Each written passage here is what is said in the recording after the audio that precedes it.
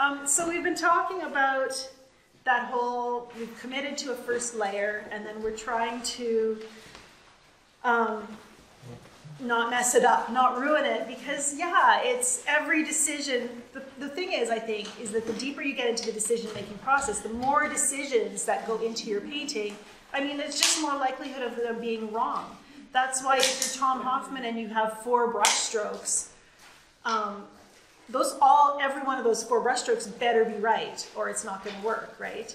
Um, but if you have, uh, but on the other hand, he only has four chances to blow it. so, so the fewer brushstrokes you do, actually, um, the almost safer you are. And, uh, and so sometimes that's why people will leave paintings like deliberately unfinished or they'll never get past that first layer because it's just scary to think about increasing the potential that you might make a mistake. So we have 500 decisions go into one painting. Well, yeah, how many of those are you going to get wrong? And how many does it take to ruin the painting? I like to have a focus. Um, I like to give myself an assignment when I start painting.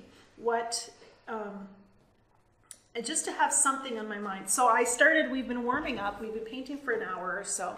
And so I was working on this little landscape, thinking about what we saw in Ireland this uh, yesterday as we toured and wanting to get that rolling pastoral hills thing going on. Unfortunately, I forgot to put sheep in this version, so I'm going to have to paint it again. Uh, it just seems wrong to have an Irish landscape without sheep. But as I painted this, um, I think it's easy to lose sight of your objection, objective when it's a new scene. So, um, you know, I'm, I'm looking at my reference photo, which I had on my phone here, and then just trying to depict what I see. Then the objective is just what am I seeing and how do I get it on the paper. But having a deeper purpose than that is is helpful to us in our interpretation as artists, right? Um, so um, my other deeper purpose would have been just trying to get that patchwork quilt of of the land down on my paper, and um, now I, I do try to keep a little pressure off that this is my first version of this scene. So I know that it's going to be um, a little bit of muddling my way in. So I'm, I'm going to be much more reliant on my reference photo. And um, so then there's going to be less opportunity for self-expression. I just don't know it well enough. Um, but I, I, am trying to look. Uh, I guess here the objective was um, trying to pay attention to the values and the colors.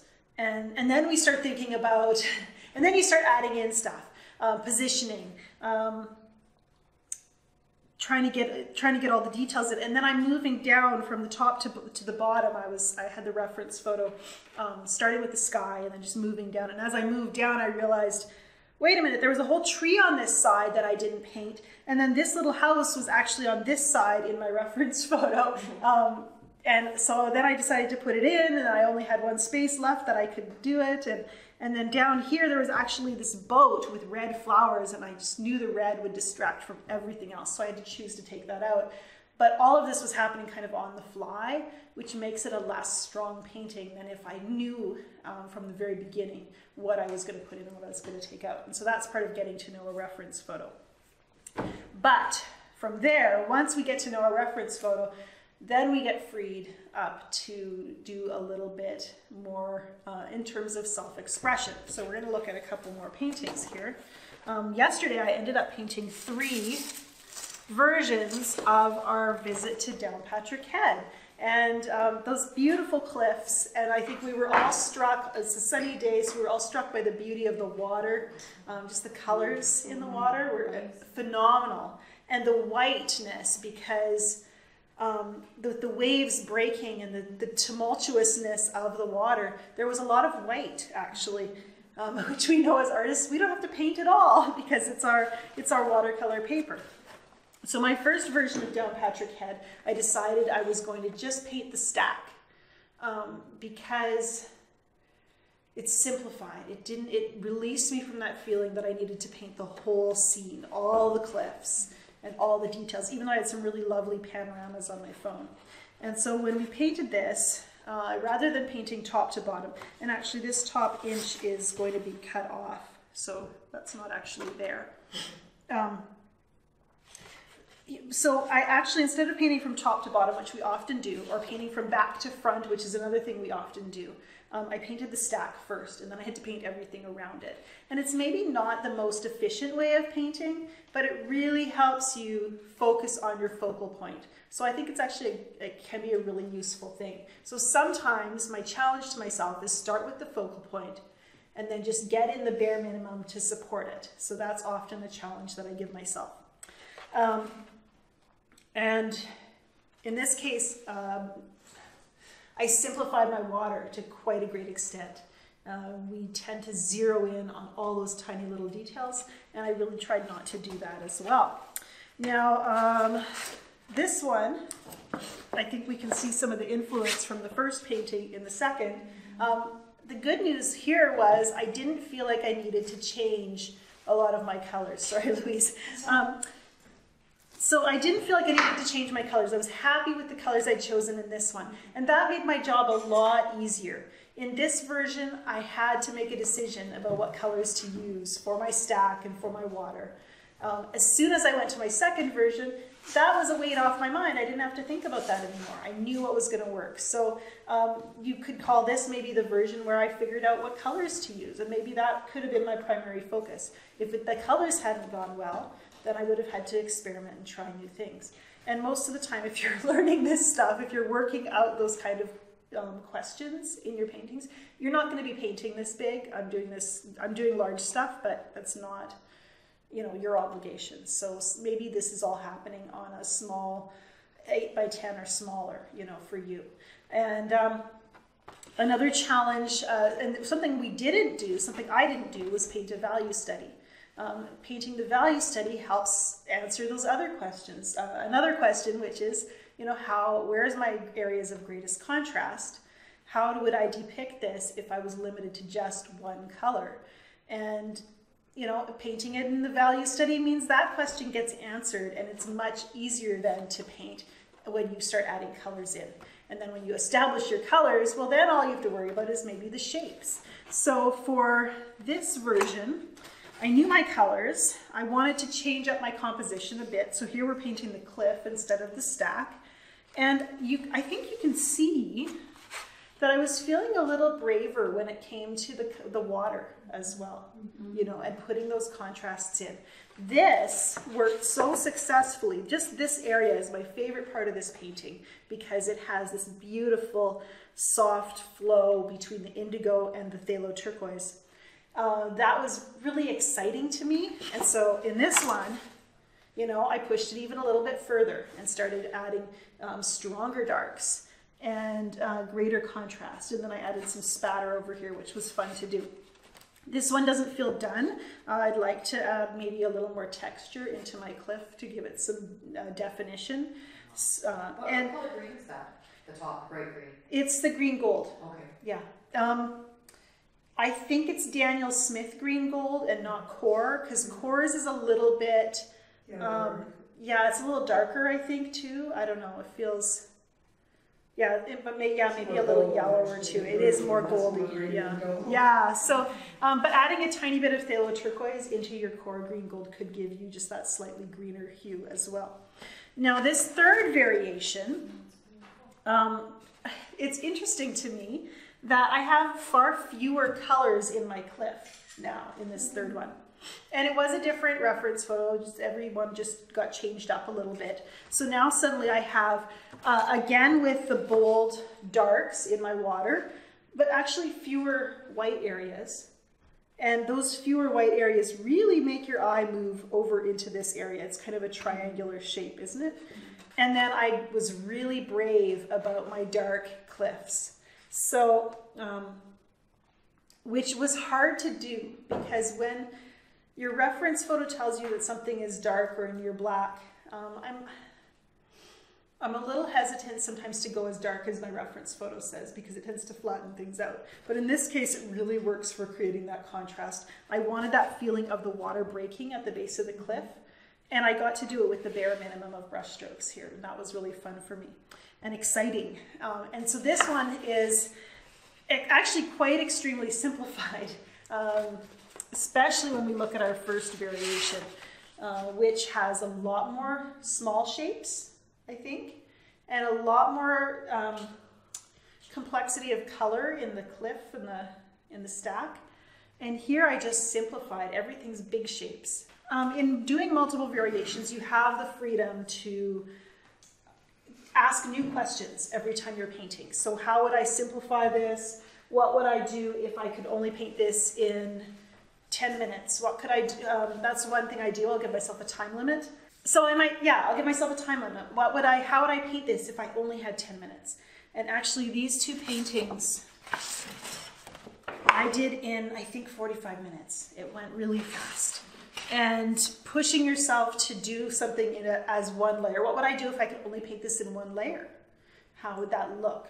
And, um, and one layer as in not that I keep adding things until the paper dries because that's not really painting in one layer if you're you know, going back over top with fussy brush strokes, that's not really painting in one layer, even though it still hasn't completely dried yet. You know what I mean? Mm-hmm. You're painting like you're painting three layers, only it just hasn't dried yet. Um, but so how would I do it if I could only touch each area of the paper once? You know, what if I wasn't allowed to go back over anything? Um, and so that's a that's a question, and it's to me it's almost like playing a game then, right? That kind of challenge of um, you know, how would I, what do I do, how do I do it um, this time for this version? And I think we have a wonderful example in Monet, uh, and I've talked about this before. He painted over 250 paintings of water lilies, and I think, uh, I'm trying to remember, I think it was even more of his haystacks. So we hear Monet's water lilies and we think it was one painting. It wasn't, there was over 250 of them. So he was quite willing to be very boring. And I feel sorry for his friends having to, you know, in his painting group, because he's like, here's another one. It's the best one ever. and, you know, or whatever. And then he's, and what would it be like if I painted in the, in the early morning and the late afternoon and so forth? And what if I could only use, you know, vertical strokes or, you know, so there's so many questions we can ask. What if I painted everything in cool colors and then added one warm color? What if I painted this as geometric shapes? And we saw that in the art gallery yesterday. Um, everything in that one painting was um, a rectangle or a square. And so, and that's just an artist asking themselves that interesting question. And for all I know, that's all that artist does is rectangles and squares in all their paintings. I wouldn't be surprised actually. So we, as artists, we get to be willing to be one-trick ponies and have one thing that we do really well and that makes us really interested and excited. So it doesn't mean you have to answer all these questions in all your paintings. Find something that engages you. And hopefully, and if you're learning, which you are, um, helps you grow. So, you know, maybe that's focusing on value for a really long time. And um, looking back at my career and my learning process, my paintings were not strong as a new painter um, in my first five or six years of painting because I didn't understand about value. And so I was painting the colors that I saw. So that's a dark green, that's a light blue, rather than thinking about the values and how they related to each other. The other thing that I did was most of my photos, my reference photos, were taken on overcast days because it's just easier to take a good photo when the light isn't strong. So none of my photos had a strong light source, which made it really hard to create good contrasts. So um, actually some of the, so that makes it, can, can, make it really hard as an artist to um, paint with strong contrasts mm -hmm. because it is just easier to work from reference photos that have that more diffused light. And so that's where I like to think about exaggerating. So what if I exaggerated all my darks? What if I made all my light value, lightest values just white? Um, so those are other good questions to ask. And there's, I mean, there's really no limit to the questions you could ask. What if I drew everything with indigo and my and a fine pointy brush, like a coloring book, and then filled it in? I mean, that would be an interesting thing to try. So it's not necessarily what's going to make me a better artist today, but just what interests me um, you know, and, and what, how can I how can I incorporate that into my painting? My harvest dance painting, which we were talking about, the field of wheat, and the pink sky. Uh, I was inspired to do that because I saw an artist who painted a yellow sky. And I was like, that is the coolest thing ever. And it's a beautiful sky. And I didn't even think about the fact that it was yellow until I spent a little more time looking at that painting. And so that was really cool to realize that um, you, there's no color's no boundary, you know.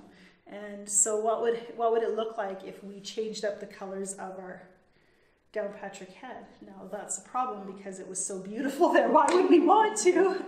But um, you know, we get to have uh, we get to answer questions and we get to do it in a really sometimes in an interesting and weird way. Um, and we've seen weird art, right? Um, and those are artists who um, let their little quirks drive their paintings. And why wouldn't we do that? And we have more freedom to do that as we get to know what we like and who we are and how to handle, how to manipulate the, the medium. And so as um, we're in this stage, and I know you, I know you feel frustrated because your painting just doesn't do what you want it to do and it doesn't match what you're seeing up here. And there's a lot of faith in painting. Um, I, I really think of it as a, as a bit of a faith journey because we don't have anyone telling you, I can teach you to paint, it's going to take 40 hours of actual study, and then you're going to have mastered the medium. It doesn't work that way. There's so many decisions that go into painting. What brush, you know, what tools do I use? Uh, what colors do I choose? What am I painting today? And then how do I get that to all come together? What do I start with, and in watercolor, you know, when, where you start and what white areas you leave, those have a big, um, a big impact on your painting. They're gonna really affect the finished product. We're not like oil and acrylic painters where you can just keep adding paint until you get a result that you're happy with. Our, our keep adding paint is keep adding paint to this paper and then do this version and this version and this version. So we have stacks and stacks. So what we should just do is be like an oil and acrylic painter and just glue them all together. um, you know, maybe that would help us visualize and realize that we're not failures because we do keep doing more versions. It's, it's our version of continuing to add paint. And uh, so, yeah, we can quietly judge all the artists who have like stacks and stacks of paint layers on their oil and acrylic paintings and say, well, I don't have to do that because I get it right the first time. Just not mention all the ones at home in the studio. So, should I show you something? Do you want to get back to painting? Okay, let's see what we've got here.